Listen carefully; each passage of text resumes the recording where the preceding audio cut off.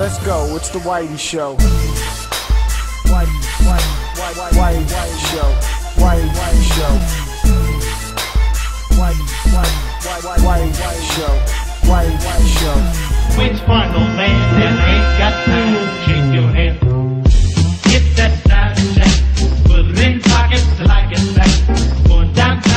Alright, alright, alright, alright. It is a new review that only about 150 people are gonna watch. So, let's talk about Hyrule Warrior that nobody really gives a fuck about, it seems. Hyrule Warrior is a game that tries to be mixing what people love of Dynasty Warriors with a huge franchise like Zelda from Nintendo. Story-driven Dynasty Warriors with a lot of production value on top of a pretty hefty amount of content. Sounds like a pretty good dish to eat, right? Well, let's talk about the results. And I'm gonna be kind of fast because nobody's gonna watch this, but I'm gonna do it anyway.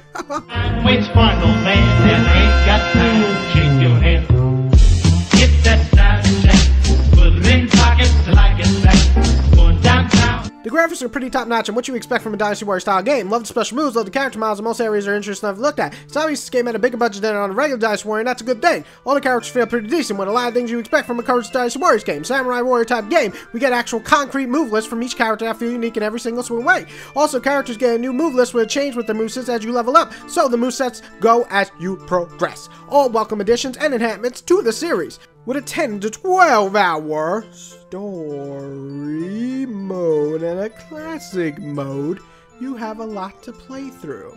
It also supports two-player co-op, which is always a good thing. Kelly and I played through the entire thing together. Note, the first player will be on the Wii Mote thingy dingy screeny bingy, but I didn't notice any major slowdown, so I don't know what that's getting from the reviews. Maybe I didn't even pay attention. Maybe I don't give a fuck. The bad.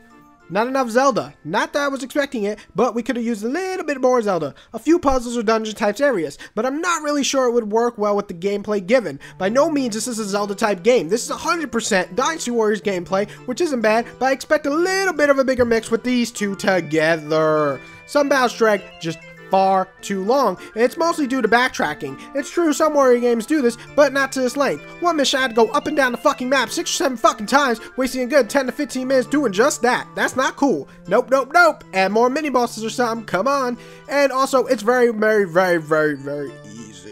Even playing on hard, you were only at much trouble. Kelly and I zoomed through the entire game and didn't even die once. Dynasty Warriors, especially on hard difficulties, has given me a challenge before, so this was a letdown. While the story was interesting, it was also very shallow. Could have expected a bit more impact when I was visiting all the worlds of my childhood, but I felt like I was just killing, killing, killing, killing, and nothing more. The story didn't feel like it was connected, which is a huge letdown, especially coming from a great Zelda game, or just a great, great Zelda game story, Skyward Sword.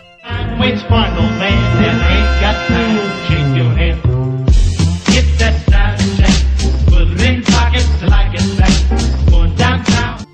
Okay, now this is for the people who just skip to the end of the video to find out if this game's any good.